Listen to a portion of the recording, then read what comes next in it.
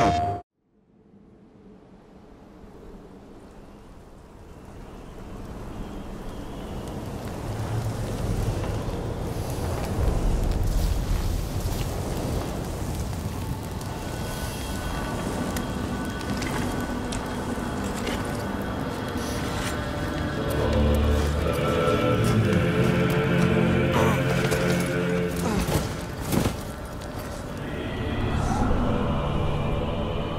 Ο χρόνος τελειώνει.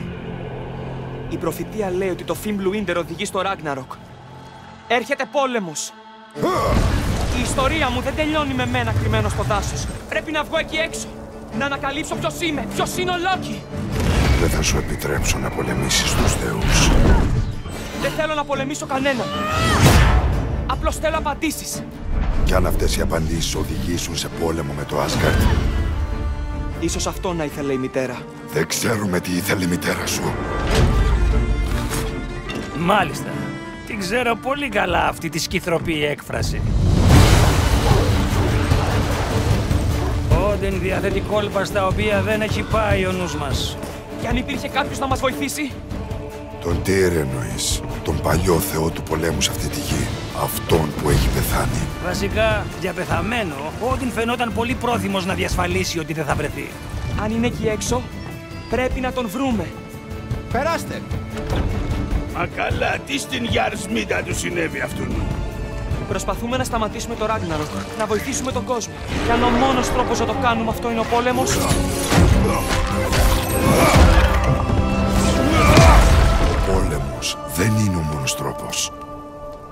πάψε να σκέφτεσαι σαν πατέρας επιτέλους, αλλά σαν στρατηγός. Όχι!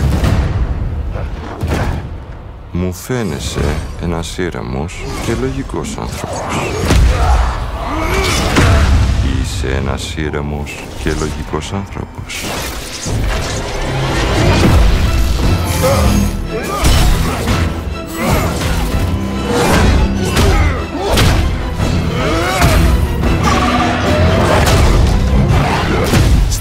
Κρίσιμες στιγμές, ο πανικός δεν βοηθάει.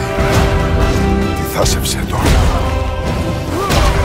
Κάνε τον να σε υπηρετεί.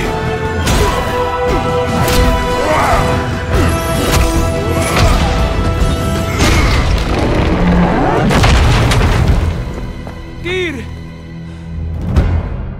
Θα έρθεις μαζί μας.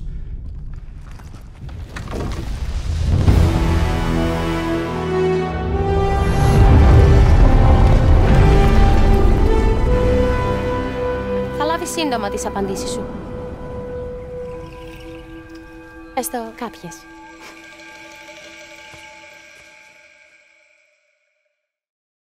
PlayStation